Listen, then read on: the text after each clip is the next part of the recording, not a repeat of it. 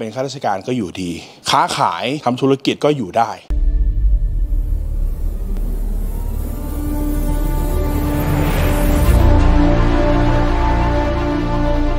สำหรับข้าราชการนะครับบ้านที่ดีเนี่ยที่เหมาะกับข้าราชการเนี่ยส่วนใหญ่ควรที่จะเป็นบ้านทิศตะวันตก แต่ว่าบ้านหลังนี้เนี่ยเป็นทิศตะวันตกเฉียงใต้นั่นหมายความว่าเป็นข้าราชการก็อยู่ดี ค้าขายทำธุรกิจก็อยู่ได้นะครับแต่ว่าด้วยตัวทิศภายนอกเนี่ยถือว่าดีละโอเคละเราต้องรู้ด้วยว่าตัวบ้านหลังนี้สามารถรับทรัพย์ได้หรือเปล่า บ้านเนี่ยจะต้องเป็นประตูบานผักเข้าเข้าไป ก็อย่างเช่นบ้านหลังนี้ มีการแก้ไขเป็นประตูบานผักเข้าไปทั้งสองบานละ ถือว่าบ้านหลังนี้สามารถรับทรัพย์ได้เต็มร้อยเปอร์เซ็นต์แล้วก็จะมีตรงส่วนที่เป็นธรณีหน้าบ้าน ถ้าบ้านหลังไหนที่มีธรณีเนี่ยถ้าเราทำการค้าลูกค้าที่เคยติดต่อเราเข้ามาเนี่ยต่อให้เขาไม่ซื้อวันนี้ร้อยทั้งร้อยยังไงเขาก็ต้องกลับมาซื้อเราแน่นอนครับผมก็อย่างบ้านหลังนี้นะครับก็มีธรณีถูกต้องมีประตูถูกต้องประตูสองบ้าน ประตูเข้าบ้านผักเข้า แล้วก็จะมีสิ่งนี้คือสิ่งที่สำคัญมากๆเลย ถ้าสมมติเรามี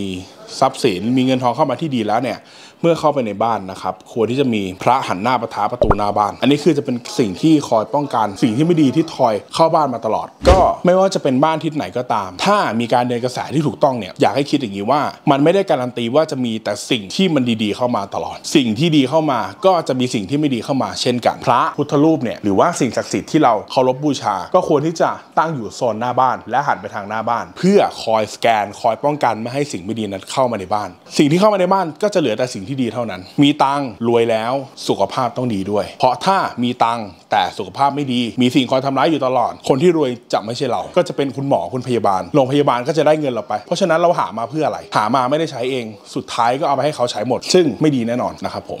สำหรับใครที่ชอบคลิปนี้นะครับฝากกดไลค์กดหัวใจเพื่อกำลังใจให้ผมด้วยนะครับและอย่าลืมกดติดตามช่องฮูจุ้ยสู่ความมั่งคั่งและพบกันใหม่คลิปต่อไปครับ สวัสดีครับ